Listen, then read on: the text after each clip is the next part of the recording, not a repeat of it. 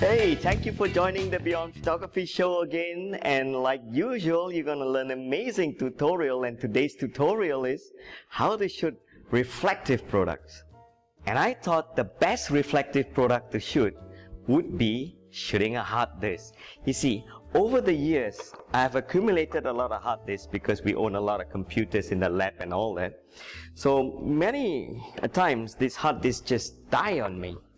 I always save the hard disks itself because they are so reflective and I like to use them to teach product photography and commercial reflective photography because if you do this wrongly, you're going to see the reflection of the cameraman's face there. John, say hi to John. Now the best way to shoot reflective product is not to light up the product itself, but to use something we call a flag. Now, the best way to deal with flag is not to ask your mother-in-law to hold a flag for you. What I like to use is a flag holder. This is actually an arm that can swing like this. So there you go. I'm going to be lighting up this. I'm, I'm going to be shooting this hard disk. I choose this particular one because it's clean. Always keep it closed up like this so that you don't get dust. So I'm going to put the hard disk here and shoot from there. So I reckon that I'm going to get reflection from here. So this is what I'm going to do. Take a big flag like this. And then mount one here. There's actually a bracket that you can hold this down. Right, move this to the side. And mount this here. I guess you still need your mother-in-law to do this. There you go.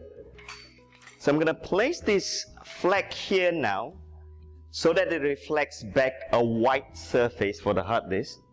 And then I'm going to take this flash now and boom, hit the light somewhere here. Two feet away on a bare flash is always f16. If you add on a flag like this, you're going to shave off two stops. So two stops from f16 is going to be f8. Presenting your lighters cheat sheet. So I've got it all now. My ISO is 200. My shutter speed is 200. I'm shooting at a white balance of 5260. And I'm gonna make my camera go on vivid mode. So that way I'm gonna get a punchier color. Pop up your flash, make sure this is manual. And I also like to slap on close-up filter. This is a times 4.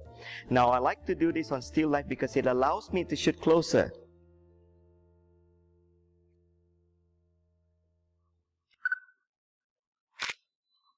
Boom. Beautiful. One shot. That's how you shoot reflective product. Always light up the reflected item. there you go. That's how you shoot difficult reflective product like a hard disk and still get away with this. Remember the rule. Light up what is reflected and do not light up that product itself. I'll see you again for the next Beyond Photography show. Continue watching our show and shoot nice pictures.